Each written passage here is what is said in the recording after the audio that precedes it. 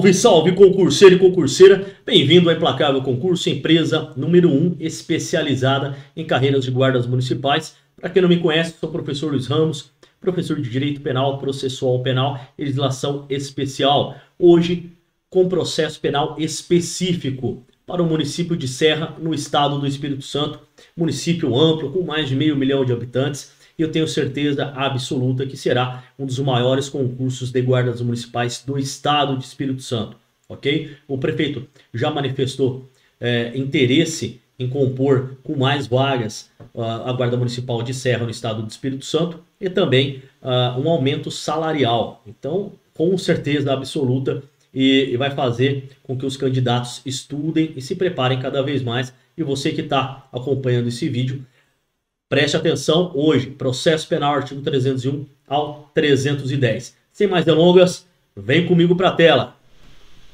Vamos lá. Geme de Serra no estado do Espírito Santo. Vamos escolher uma canetinha aqui. Geme Serra no estado do Espírito Santo, edital previsto, tá? Edital previsto aí para março, início de abril. O edital já deve estar tá estourando aí. Então, não, não perca tempo não, senhores. Vem comigo aqui. Não perde tempo não, tá? Vou deixar na descrição do vídeo aqui todos os nossos cursos específicos para o município de Serra, tá? Não somos aqui igual outros concursos aí que faz aula a rodo aí, só deixa na plataforma e abandona o aluno. Aqui são aulas específicas para cada tipo de guarda municipal. Essa aula de, eh, de processo penal, do artigo 301 ao 310, no que tange a prisão em flagrante, beleza? Então, especificamente para a GM de Serra, Vamos lá. Processo penal. Então vamos falar lá do artigo 301 ao 310. E o que, que eu trouxe para vocês aqui, senhores? Eu trouxe várias questões. Porque o que, que é a forma mais correta tá, de estudar? Logicamente, cada um vai ter que estabelecer seu próprio perfil de estudo. Tá?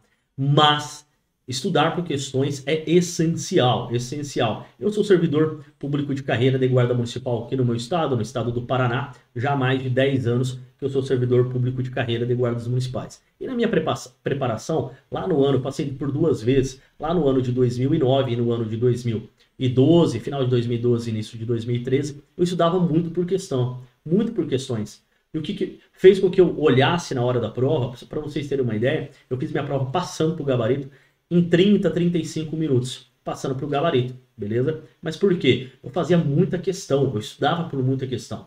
Então, segue os passos aí do professor que com certeza absoluta você vai fazer sucesso nessa prova de serra. Vai ser muito concorrido, já estou adiantando. Vai ser muito concorrido, então a preparação antecipada antes da abertura desse edital se torna indispensável, beleza? Sem mais delongas, vem comigo, vamos, vamos, vamos resolver a questão. Vamos brincar de questão aqui hoje. Vamos brincar de questão. Questão número 1. Um. Estamos falando aí de prisão em flagrante. Considerando as determinações legais do Código de Processo Penal, que é um decreto-lei lá de 1941, sobre a prisão em flagrante, assinale a alternativa correta. Letra A. Na falta ou no impedimento do escrivão, somente a autoridade lavrará o auto depois de prestado o compromisso legal. Vem comigo aqui. Senhores, aqui o principal objetivo é fazer, fazer com que os senhores coloquem um X na questão correta, na alternativa correta. Ninguém vai sair daqui dessa aula já é, pedindo relaxamento de prisão em flagrante em sede de delegacia de polícia. Tá? Ninguém vai fazer isso. Ninguém. Tá? Deixando bem claro. Mas, depois dessa aula, eu tenho certeza absoluta, certeza absoluta, que vai facilitar e muito o entendimento do que é uma prisão em flagrante isso dentro de questões de natureza de guardas municipais. Senhores, eu sou especialista em guardas municipais. Tanto é que eu só dou uh, aula para processo penal, penal, legislação especial, somente para carreiras de guardas municipais. Tá? Então eu analiso provas do Brasil inteiro. E as bancas tendem a manter o mesmo, a mesma linha de raciocínio. Alguma coisinha ou outra, alguma peculiaridade ou outra das bancas. Mas a maioria gosta de fazer Ctrl-C ou Ctrl-V e gosta de fazer pegadinhas dentro uh, da, das alternativas. E eu vou explicar para vocês quais ou praticamente todas as pegadinhas que as bancas fazem, beleza? Aqui é bizu, é aula de bizu, tá? É pegar os macetes, é pegar isso daí e jogar para dentro da prova, beleza? Não vou ficar muito em teoria, falando sobre jurisprudência, falando sobre doutrina, falando sobre autores, nada disso, nada disso. Aqui é para você saber colocar o X na questão correta. Ah, Ramos, mas aí eu quero um processo penal mais aprofundado, eu quero que o senhor fale né, de alguns autores, decisões jurisprudenciais, decisões do STF, do STJ. Bacana, beleza. Lá no curso de direito, tá? Lá no curso de direito. Porque aqui é para você colocar o X na questão e ser aprovado em carreiras de guardas municipais, principalmente no município de Serra do Espírito Santo. Beleza? Volta para a tela comigo aqui. Muito cuidado com as palavras somente, tá? As palavras, é, muito cuidado com isso, porque geralmente, não estou falando aí é, sempre, mas geralmente essa vai trazer a questão incorreta, é que nós estamos procurando a questão correta. Na falta do impedimento do escrivão, lembra lá, alguns estados, não, não é o caso aí de Serra no Espírito Santo, tá? porque é um município grande, né? acima de meio milhão de habitantes, é considerado um município grande e bastante populoso. Entretanto, algumas, algumas cidades, seja aqui do, do, do Paraná, onde eu resido, ou seja lá do Espírito Santo, algumas cidades não têm escrivão, tá? Tem delegacias ali que não tem escrivão, não tem um aparato dentro da Polícia Civil, tá? Mas isso vai impedir o auto de prisão em flagrante? Já estou adiantando para vocês. Não, não impede. Já imaginou? Por falta de escrivão, o cara vai, vai, pode fazer o que ele quiser, que não vai ser lavrado o auto de prisão em flagrante, né? Então, uma questão um pouco até óbvia e lógica. Então, a questão A aqui, com certeza absoluta, trazendo aí somente aí, vai estar incorreta. Nós estamos procurando a questão correta. Em até 48 horas após a realização da prisão, será encaminhado ao juiz competente o auto da prisão em flagrante. Vem aqui comigo, antes de eu terminar de ler, tá? Senhores, vamos aprender outros bizus. Quando se tratando de aula de processo penal, e principalmente no que tange ao flagrante delito, eu tenho que ter a ideia. Prazo é 24 horas. Auto de prisão em flagrante 24 horas será comunicado ao juiz, beleza? 24 horas. Qualquer questão que vier, 48 horas, 72 horas, 36 horas, 12 horas, tudo que vier relacionado a horas e não por 24 horas e para o juiz, vai estar errado, beleza? Então isso vai eliminar muita questão para você, muita questão. Porque no que tange a prisão em flagrante, as bancas estão fazendo esse tipo de pegadinha. Aluno implacável não vai cair mais nessa, beleza? Então vamos aqui para a questão. 48 horas. Já sabemos que não é 48 horas, é 24 horas. O auto de prisão em flagrante ele vai para quem? Juiz. E se o preso lá, o detido, não tem advogado? Vai para defensoria pública. Então aqui vai estar errado porque é 48 horas. O restante está até ok, tá? Comunicação ao juiz competente, a prisão em flagrante, caso autuado não informe o nome do seu advogado, cópia integral para Defensoria Pública. O que está errado aqui é as 48 horas. Considere-se flagrante delito que é encontrado logo depois, com instrumentos, armas, objetos ou papéis que façam presumir se ele é autor da infração. Questão correta. D. É ato privativo. Lembra lá, muito cuidado com isso, tá? é ato privativo, somente as autoridades, né? O privativo, traduzindo, é somente. Somente as autoridades policiais e seus agentes podem prender quem quer que seja encontrado em flagrante delito. Novamente aqui vem para mim. Senhores, pensem. Se eu como particular, tá? Não, não vou falar aí como, como GCM.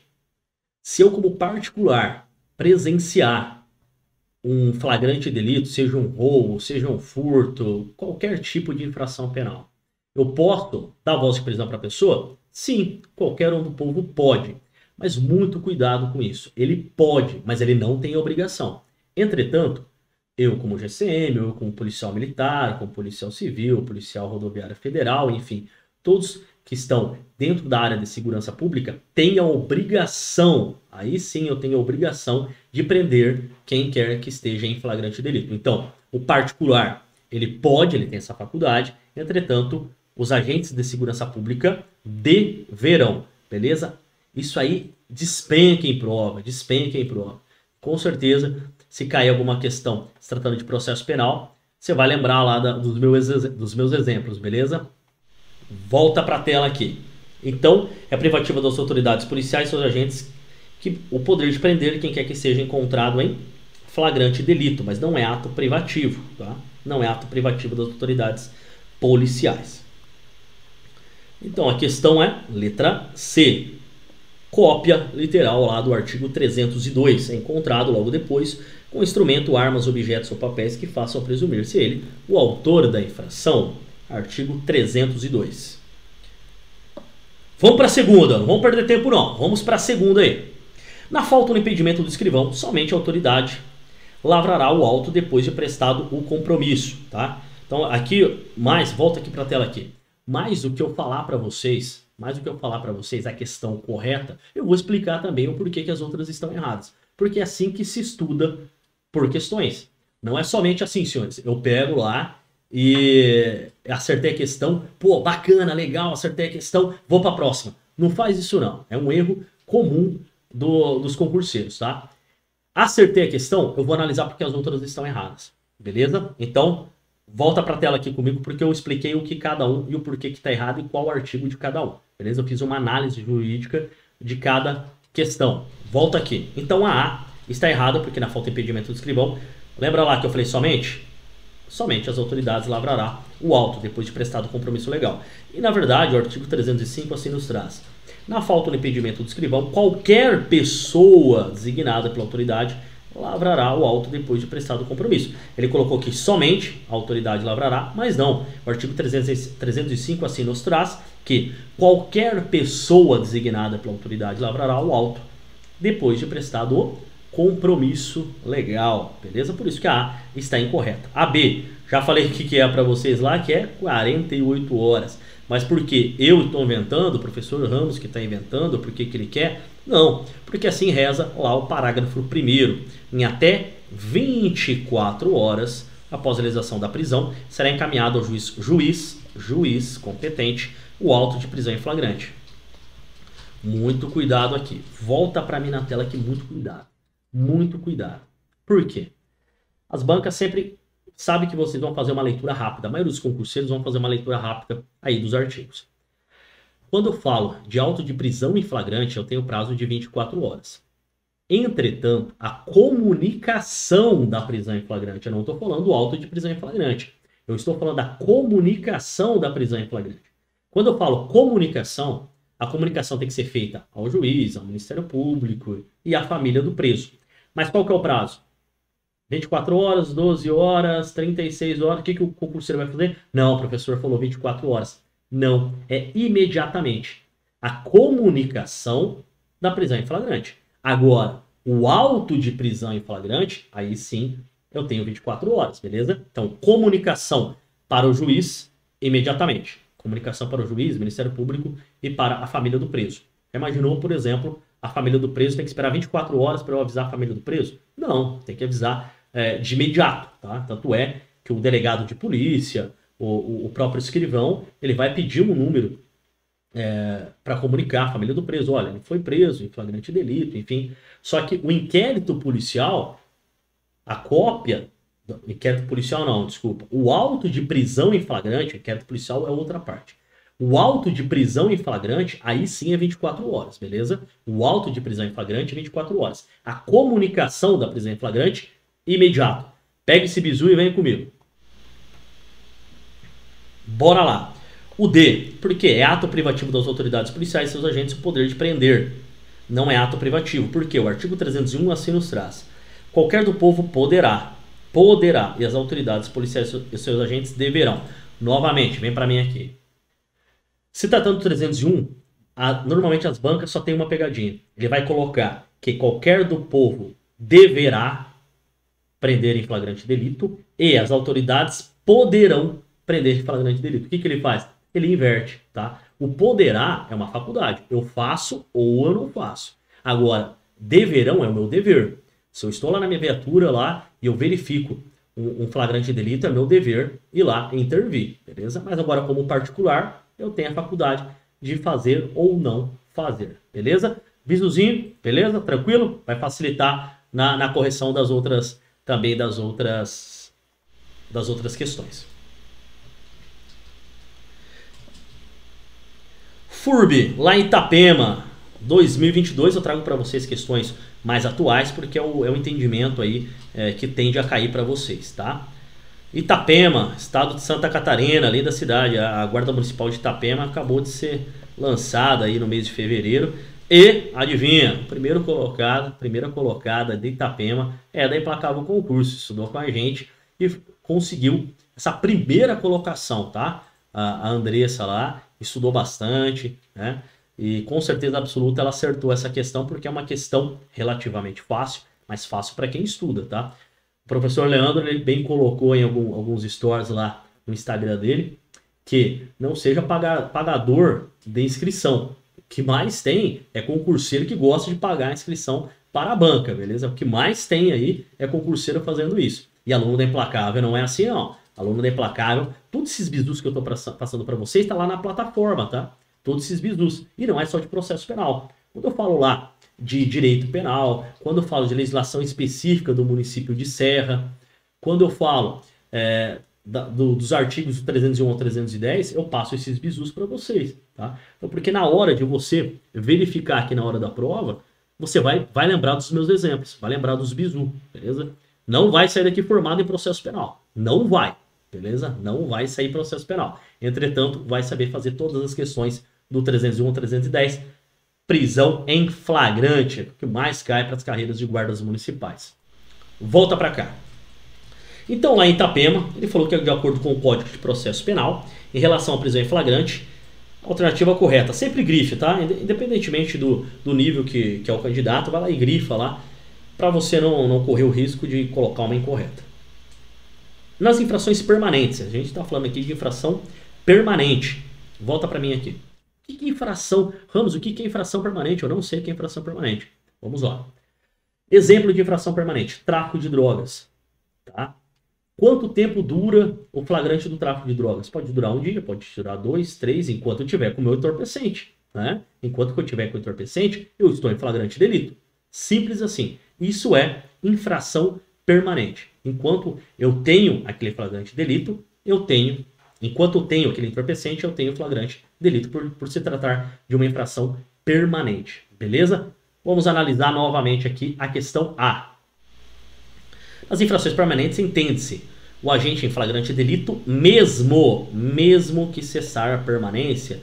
Óbvio que não, né, senhores? Óbvio que não, tá? Se cessou a permanência, cessou o flagrante delito, tá? Eu, ah, eu tô armazenando drogas na minha casa. A partir do momento que eu dispensei essa droga, já não estou mais em flagrante delito. Posso ser preso? Posso, na instrução do inquérito policial, tá? Então, o delegado de polícia, na instrução do inquérito policial, pode pedir é, algum tipo de prisão, ele pode fazer isso. Mas está em flagrante delito? Não, não está porque cessou a permanência. Volta lá. Então, se cessar permanência, é que ele colocou mesmo, tá? Ele colocou a palavra mesmo, tornando a questão incorreta. B. Quando o acusado se recusar a assinar, não souber ou não puder fazê-lo, o auto de prisão em flagrante será arquivado Poxa, gente, quem colocou essa aí, pô, precisa ter um, um pouquinho mais de atenção, né?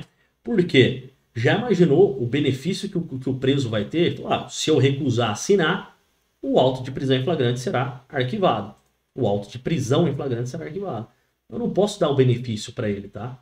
Então, o que, que acontece? No caso de prisão, se o, se o preso chega em mim e fala assim, olha, eu não quero assinar, não, não concordo com esse, com essa prisão. Ao meu ver, é uma prisão ilegal. É, então eu não vou assinar. O que, que eu faço? Beleza. Vai ser feito o auto de prisão do mesmo jeito. Você não vai ter benefício nenhum. Beleza? Mas tem alguns critérios que eu vou passar agora para vocês. Vamos lá. Quando o acusado recusar-se assinar, ou não souber ou não puder fazê-lo, vamos supor o cara é, não sabe né, assinar, ou está impossibilitado de fazer. Por exemplo, ele está num hospital, ele está com os dois braços quebrados, ele está inconsciente, né? Por exemplo, num acompanhamento tático que ele venha a, a cair, ele está inconsciente, ele não pode fazê-lo, o auto de prisão em flagrante ele não deve ser arquivado, né? ele não é arquivado. Qualquer do povo poderá e as autoridades policiais e seus agentes deverão prender quem quer que seja encontrado em flagrante delito. Correto. A falta de testemunha da infração impedirá o auto de prisão em flagrante. Então, se eu não tiver testemunha, eu não tenho prisão em flagrante. Né? Então, to todas as infrações penais, obrigatoriamente, tem que ter testemunha? Não, né, senhores? Não. Resultando as respostas fundadas, a suspeita contra o conduzido, a autoridade mandará recolher a prisão, mesmo no caso de livrar-se solto ou prestar fiança, e prosseguirá nos autos do inquérito o processo se para isso for competente, e se não for, enviará os autos à autoridade que seja. Vamos analisar caso a caso aqui. Vamos lá. Letra C, conforme artigo 301. A. O porquê que está errado. Nas infrações permanentes, entende-se que o flagrante entende-se o agente em flagrante delito mesmo. Lembra lá que eu falei para vocês. Cessar a permanência? Não. Vamos lá. O que reza o artigo 303. Nas infrações permanentes, lembra lá tráfico de drogas, sequestro, enfim. Entende-se o agente em flagrante delito enquanto, enquanto não cessar a permanência.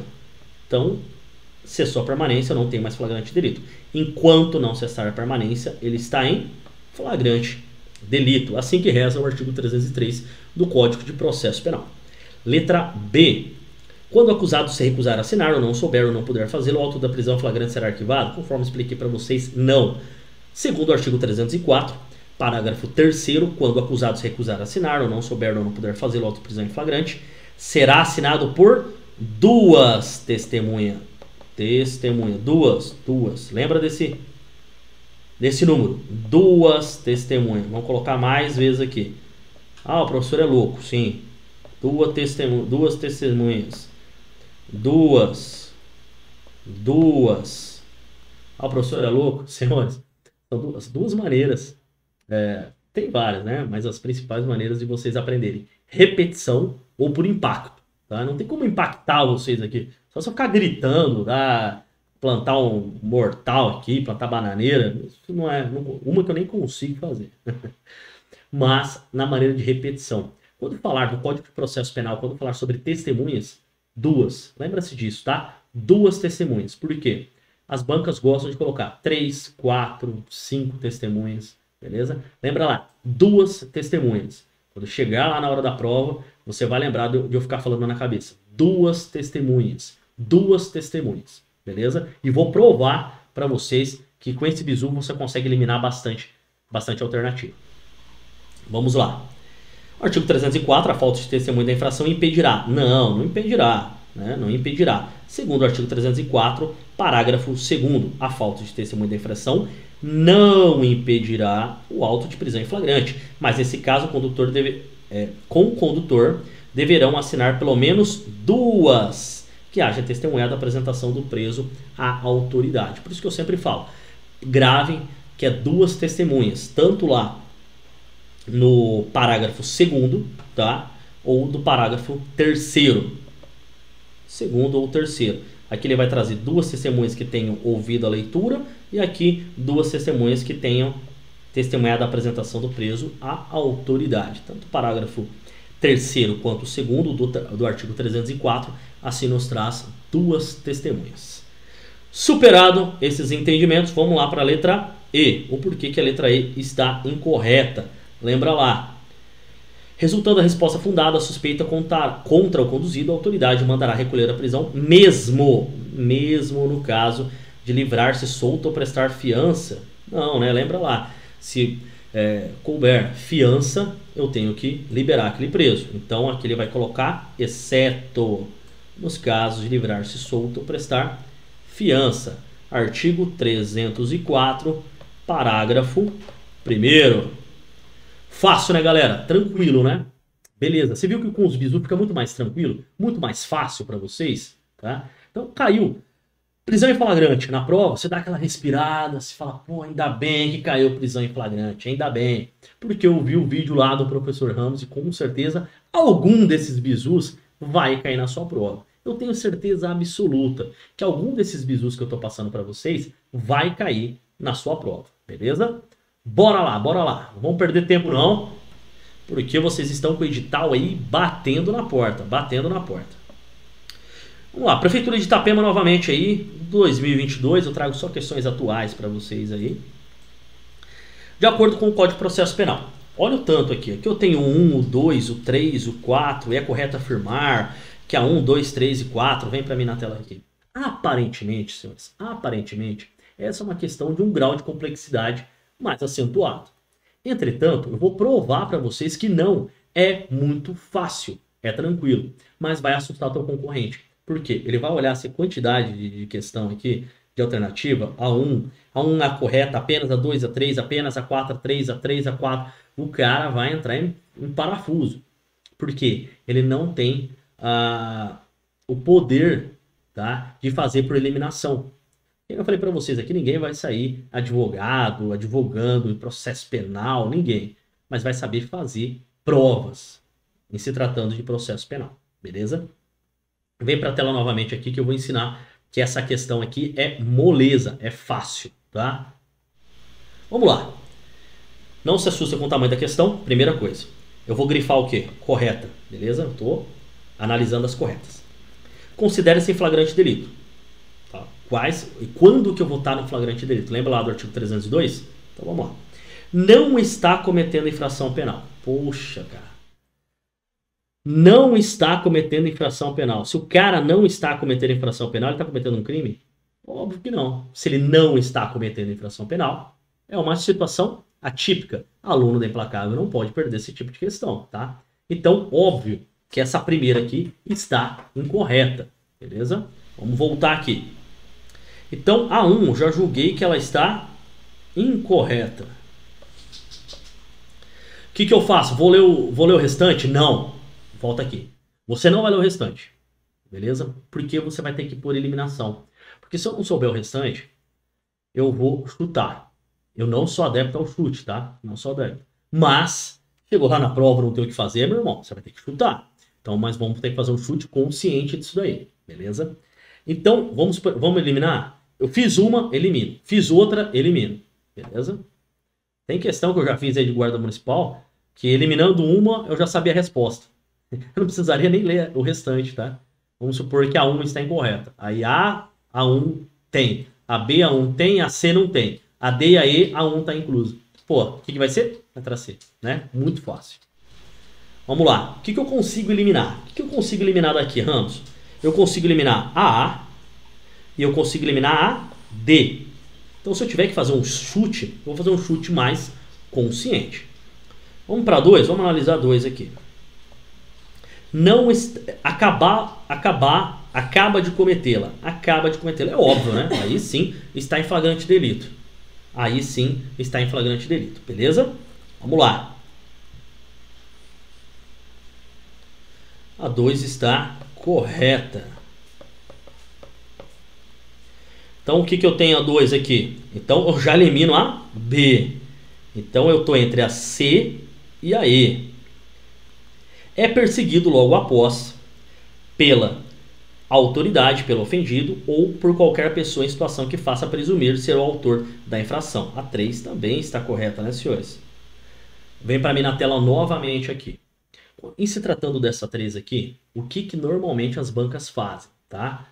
Vamos voltar para a tela, vou passar um bizu para vocês aqui. É perseguido logo após pela autoridade, pelo ofendido ou qualquer pessoa Geralmente a banca fala somente pela autoridade, somente pelo ofendido ou somente por qualquer pessoa. Essa palavra somente vai tornar a questão incorreta. Mas aqui ele trouxe para vocês os três. Se tem os três, vai estar completamente correta. Então, a, a 3. Só que a 3 está na C e também está na letra E. Então, não conseguimos eliminar. Mas vamos visualizar a 4 agora, beleza? é encontrado logo depois com instrumentos, armas, objetos ou papéis que façam presumir ser ele é autor da infração. Completamente correta também. Completamente correta. O que, que ele fez? Ctrl C ou Ctrl V do artigo 302. Então, letra C. E vamos provar para você aqui, tá? Vamos provar para você. Artigo 302, ele falou sobre estar cometendo a infração penal, acaba de cometê-la, é perseguido logo após a autoridade policial, lembra lá, pela autoridade, ofendido ou qualquer pessoa, e é encontrado logo depois com instrumentos, armas, objetos ou papéis que façam presumir ser ele o autor da infração. O que, que ele fez? Ctrl C ou Ctrl V.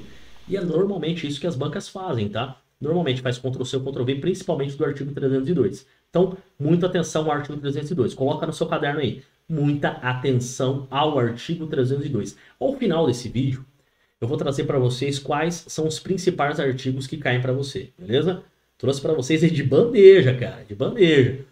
Eu com certeza vou tentar acertar alguma questão da GM de Serra, beleza? Se tratando de código de processo penal, vai cair alguma coisa relacionada a isso, tá? Depois volta esse vídeo aqui, que vai ficar gravado aí, volta nesse vídeo e me cobra. Vai estar alguma coisa relacionada ao artigo 302, do 301 ao 310, mas eu vou passar para vocês um resuminho no final desse vídeo, beleza? Vamos continuar a fazer questão aqui, porque é o melhor, uma das melhores formas para entrar essa matéria na cabeça de vocês.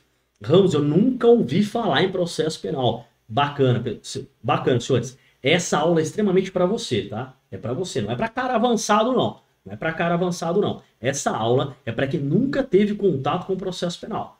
É a primeira vez? Legal. É a primeira vez, bacana. É essa aula é exatamente para você aí que nunca teve contato com o processo penal. Ah, Ramos, eu não sou formado, eu não sou nada. Cara, dane-se, não importa. Pega esses bizu e leva para prova. Vamos lá. Questão da VUNESP. Lá na Prefeitura de Osasco, Guarda Civil Municipal, terceira classe. Vamos analisar aí no Código de Processo Penal. A. A prisão de qualquer pessoa e o local onde se encontre serão comunicadas imediatamente ao juiz competente, ao Ministério Público e à família do preso ou à pessoa por ele indicada. Vou colocar um sinalzinho aqui que talvez seja essa. Em até 48 horas. Cara, falou 48 horas, já passei o bisu para vocês aqui. Falou em 48 horas, tá errado. Tá errado. Lá no, no na, auto de prisão em flagrante, no que tange a prisão em flagrante 301 310, o prazo é 24 horas. Tá? Quando fala de auto de prisão em flagrante, o prazo é de 24 horas. Lembra lá, eu tenho prazo de 24 horas, é comunicado a quem?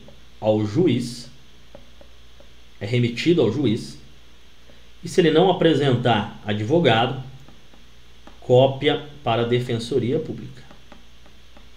Beleza? Então aqui está quase certo, ele só errou na 48 horas, porque ele fala após a realização da prisão, beleza? Se aqui fosse 24, estaria certo, né? Será encaminhado ao juiz o auto de prisão em flagrante. Caso o autuado não informe o nome do seu advogado, cópia integral para a Defensoria Pública. Se tivesse 24, estaria correto, mas está 48, está incorreta. Letra C, em 24 horas. Opa, trouxe 24 horas. Atenção. Após a realização da prisão, será encaminhado ao promotor de justiça. Não, não é o promotor. É quem? Juiz. Competente ao estado de prisão em flagrante. Caso o autuado não informe o seu advogado, cópia integral para a Procuradoria Geral do Estado. Não. Defensoria Pública. Então, também está incorreta a letra C. Letra D. A prisão de qualquer pessoa e o local onde se encontra serão comunicados em até 48 horas. Poxa, gente, esquece esse, essa 48 horas. Olha como que é fácil, tá? Para quem está de fora, isso aqui é difícil.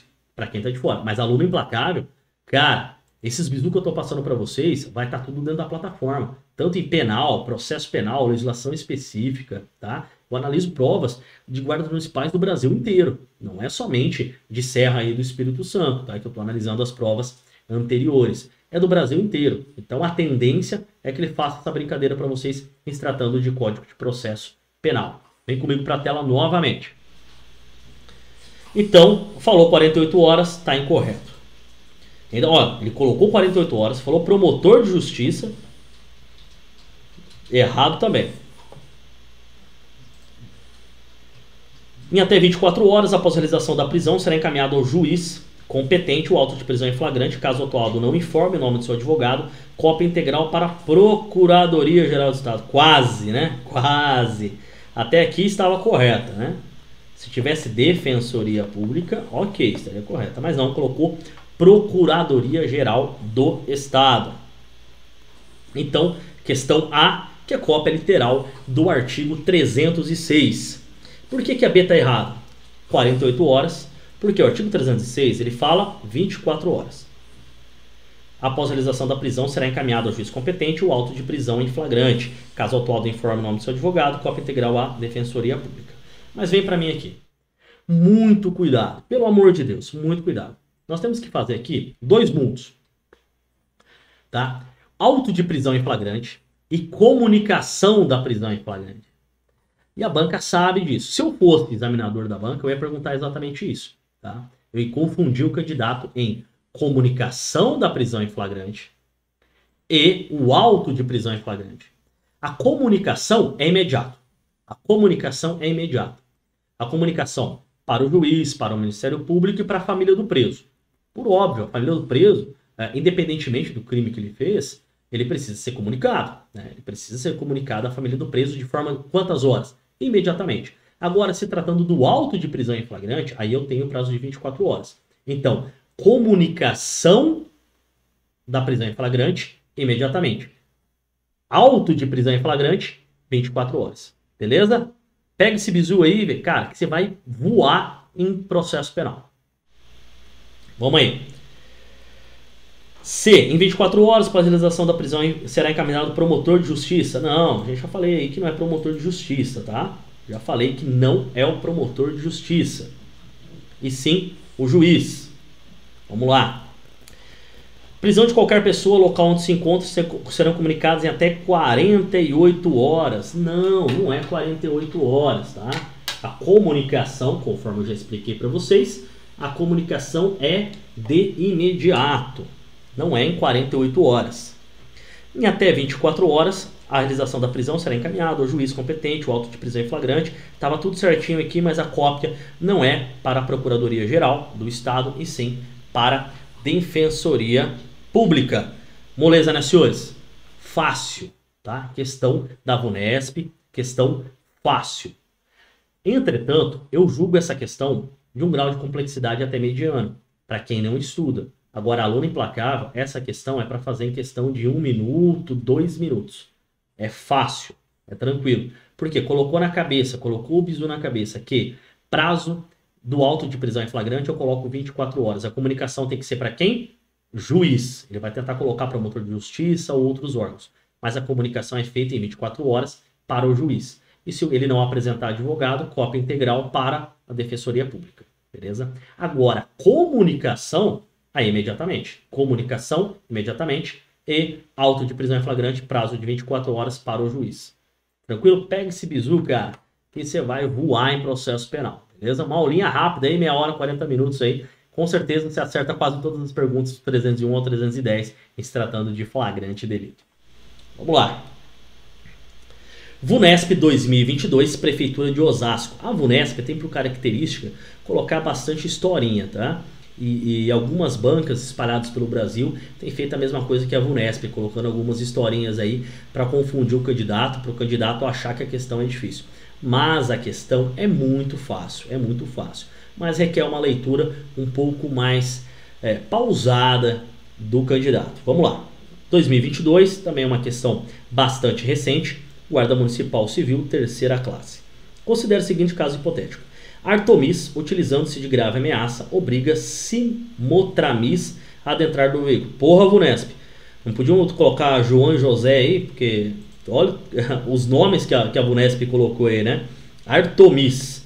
Então, Artomis é, é, o autor da infração penal, é o polo ativo da infração penal, e Simatromis é a vítima. Adentrar o seu veículo e comete o crime de sequestro. Então ele cometeu o crime de sequestro utilizando de grave ameaça contra Simatromis. Que é o artigo lá 148, ele coloca lá o artigo, mas ele nem precisaria. Ele colocou aí só para tornar a questão um pouco, mais, um pouco maior. É sua liberdade mediante sequestro, cárcere privado, enfim. Entretanto, não existe qualquer testemunha do crime. Senhores, na infração penal não precisa ter testemunhas do, do crime, né? não precisa necessariamente ter essas testemunhas. E o veículo da Artomis acaba sendo, numa abordagem de rotina, interceptado pela polícia militar. Volta aqui. O Vunesp, deixa eu explicar um negocinho para vocês aqui, tá? Sendo um pouco chato, não existe abordagem de rotina.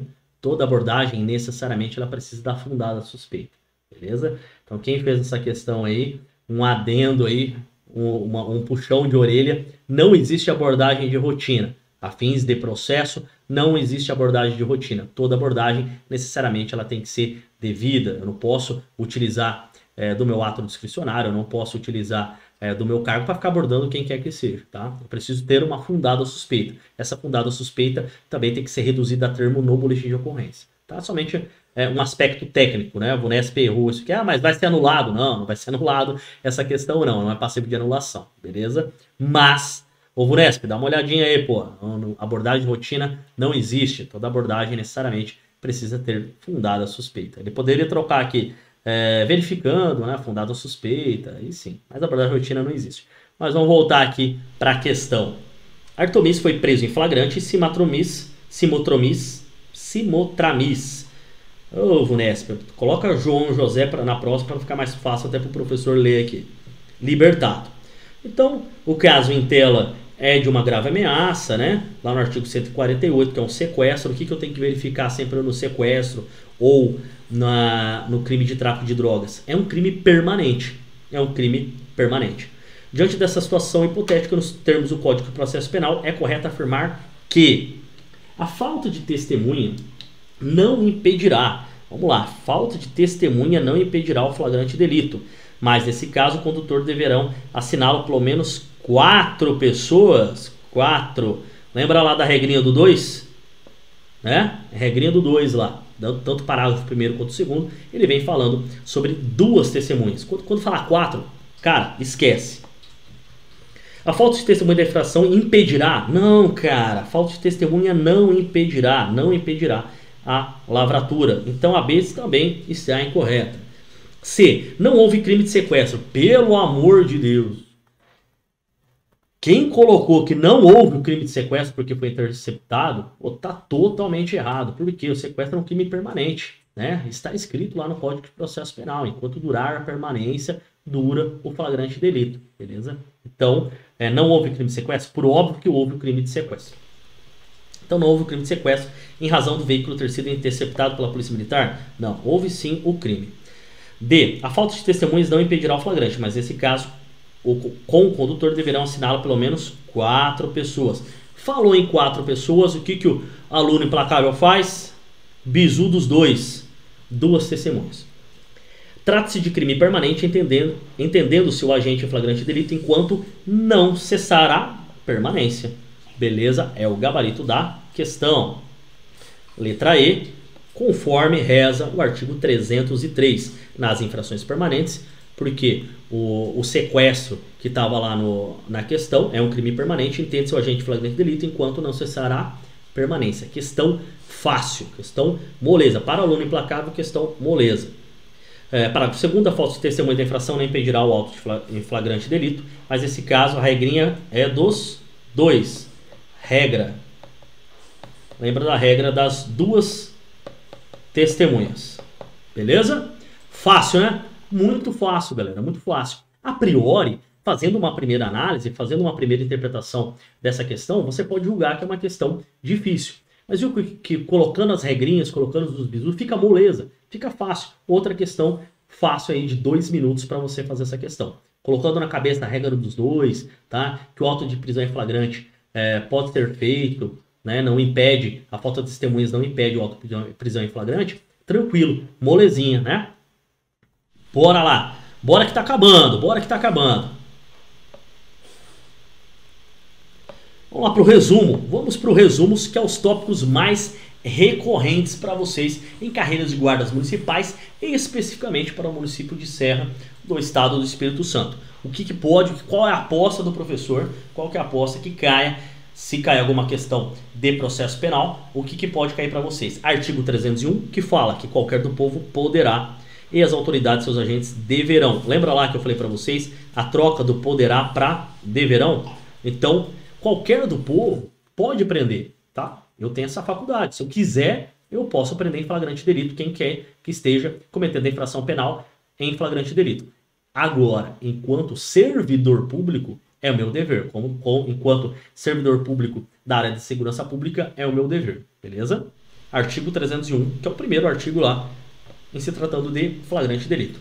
302, despenca. Esse aqui não cai não, tá? Despenca. Porque ele fala que, um, está cometendo infração penal. Óbvio, está cometendo, é o ato, é a ação. Ele foi preso praticando o ato, ele foi preso roubando, furtando, né? Ele foi preso praticando esse ato. Dois, acaba de cometê-la, logo após, né? Acabou de cometê-la, ele foi preso. 3 é perseguido logo após pela autoridade. Lembra lá, autoridade, ofendido ou qualquer pessoa. Já falei sobre essas três pessoas lá no terceiro. E quarto, encontrado logo após com instrumentos que façam presumir se ele o autor da infração. Então, muita atenção ao 1, 2, 3 e 4. Leitura obrigatória.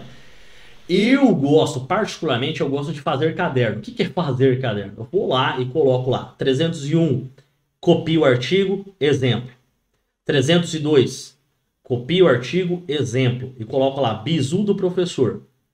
O que, que a banca normalmente começa a fazer com o artigo 301, 302 e assim por diante. Lá no meu curso específico de processo penal, eu explico artigo por artigo, um por um.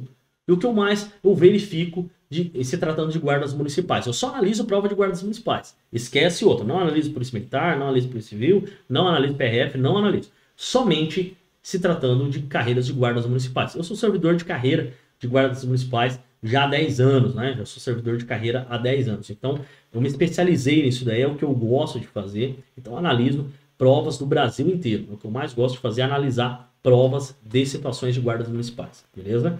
Então, lá no meu curso específico, lá dentro da plataforma, eu coloco 301, 302, 303, 304, 305 e vou artigo por artigo, a linha por a linha, parágrafo por parágrafo. Eu faço a aula para vocês extremamente completa dentro lá da plataforma, beleza? Mas nesse vídeo aqui, você vai pegar, meu, você vai voar também. Nesse vídeo aqui, você vai ter muito conteúdo para fazer essa prova da Guarda Municipal do Espírito Santo, de Serra do Espírito Santo, beleza? Vamos lá para a telinha novamente? Vamos lá. A falta de testemunhas da infração não impedirá o auto de prisão em flagrante, mas nesse caso o condutor deverá assinar. Lembra da regrinha?